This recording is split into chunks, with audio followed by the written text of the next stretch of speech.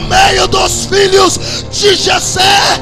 Tem um, aleluia, que me serve fiel, que me adora, que me glorifica, que não é como Saul, que não troca a minha glória por nada, porque ele sabe que ele pode me adorar, tendo fartura ou não tendo, estando no deserto ou no reinado, ele é fiel, porque ele tem um coração disposto a me servir. Tem um Deus lá no céu, aleluia, que Ele lembra de você, Ele lembra de você, Ele lembra de mim, Ele lembra de nós. Você pode estar escondido, você pode estar no calabouço, você pode estar no deserto, você pode estar na prisão, mas Deus, aleluia, já está mandando o profeta lá para mudar a história da sua vida. Enquanto eu olho por fora, enxugo por fora,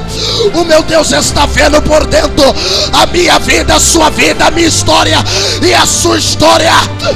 Quando eu olho para as coisas naturais e estou dizendo que você não pode, que ela não pode, Deus está olhando do céu e está dizendo: é essa criança que eu vou usar, esse menino que eu vou usar, é esse homem que eu vou usar é essa pessoa que eu vou levantar. Você não fez Univale, você não fez UFSC, você não frequentou os melhores lugares.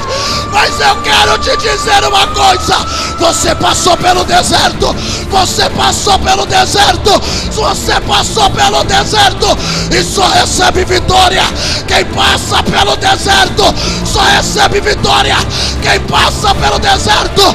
Deus só vai usar aquele que passa pelo deserto. Você precisa passar no deserto, porque quem vai te exaltar vai ser eu. Porque se você não passar pelo deserto, você vai se gloriar, você vai se levantar.